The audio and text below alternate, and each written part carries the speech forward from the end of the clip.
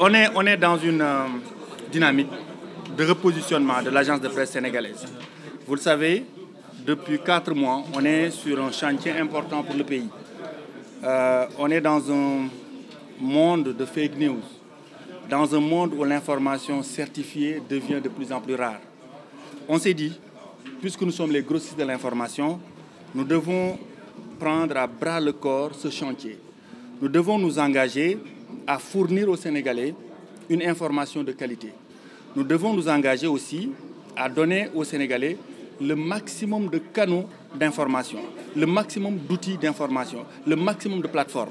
C'est pour cela que nous avons engagé la euh, réforme de notre site www.aps.sn qui est devenu plus accessible, plus fluide, avec des contenus plus diversifiés.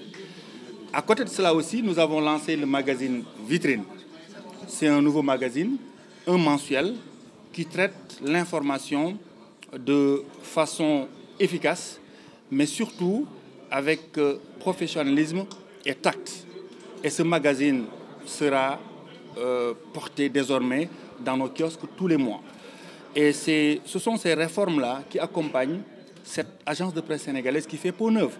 Parce que ce que nous voulons, c'est que nos autres collègues des, médias puissent euh, accéder sur nos plateformes, avoir le maximum de contenu, euh, puisque nous avons aussi diversifié nos contenus.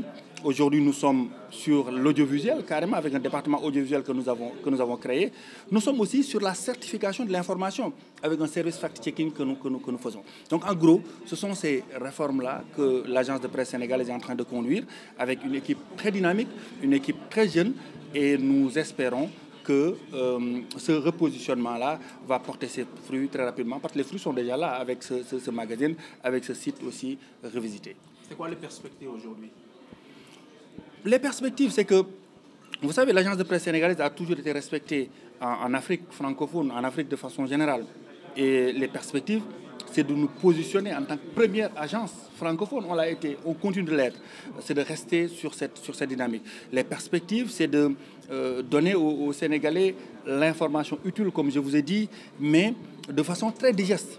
Vous avez vu que nous travaillons sur les capsules vidéo. Une information ne traîne pas chez nous. Elle arrive, elle est automatiquement sur les réseaux sociaux, elle est automatiquement sur notre site internet, elle est sur les groupes WhatsApp. On est partout. Et c'est ça la nouvelle dynamique de l'agence de presse sénégalaise. Nous sommes euh, nous, allons faire face à ce réseau de fake news. Nous allons apporter, nous, l'information utile.